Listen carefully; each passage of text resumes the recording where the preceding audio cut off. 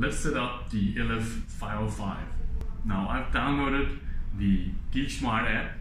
I'm gonna open it up and I am going to add the smart lock LF500 by pressing the add smart lock button up here, little plus sign.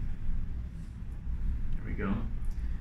So we are now in the add device menu. So we choose to add a smart lock. And we choose our particular lock, the LF505. Alright, now the app will guide us through the process of adding a new lock to our app. We need to swipe here and press next. Now we find our particular lock up here. Press it and it's that easy to add an administrator and get started. After setting up an administrator for the LF505 Smart Lock, we find ourselves in the in this app interface. Here you have a couple of options and you can choose to lock and unlock the lock by pressing the big button up here. I am going to try and lock the door by long pressing the button.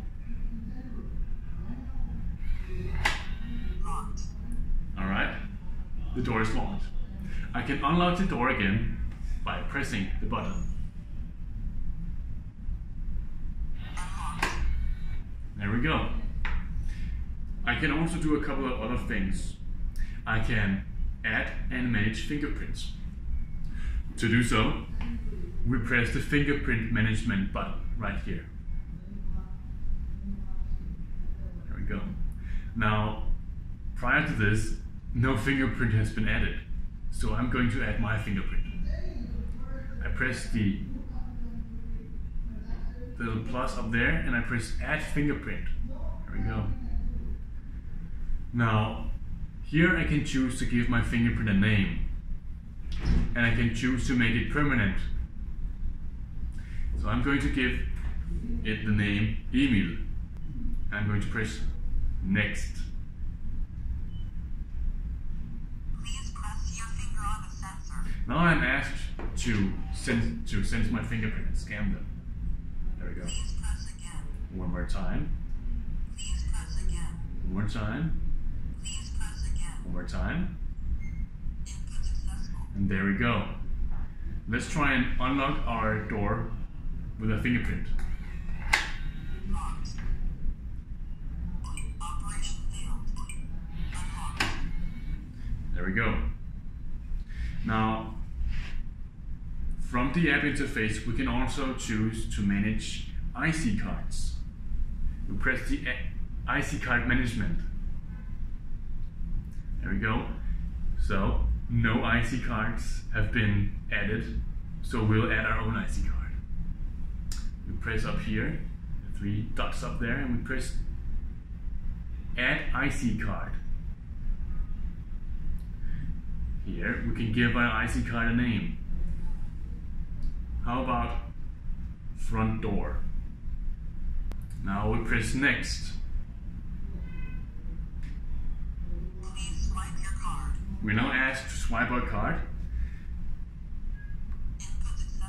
and input successful. Now we can unlock or lock with an IC card.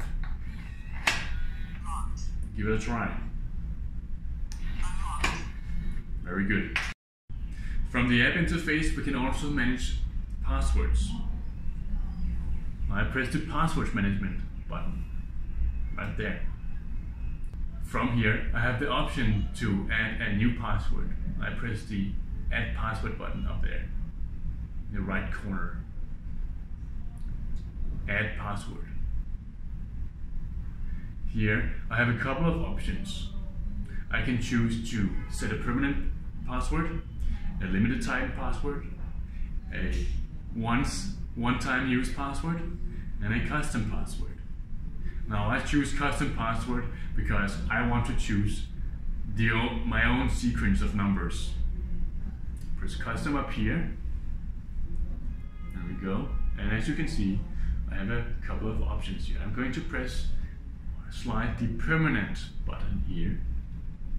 Now I'm going to give my password a name.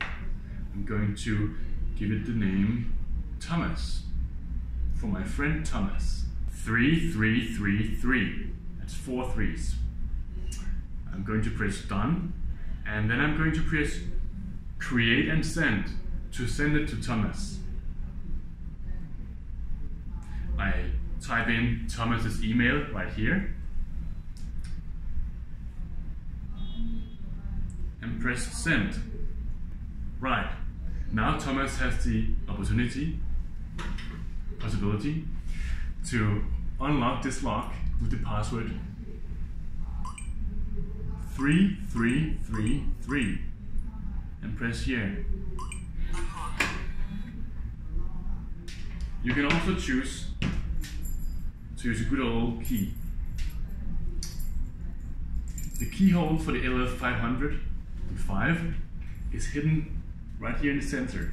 So we've included a little pin on the keychain and you can pop open this keyhole cover just like so.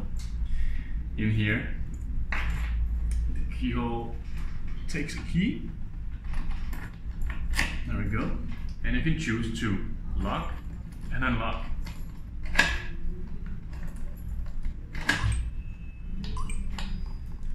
Thank you for watching.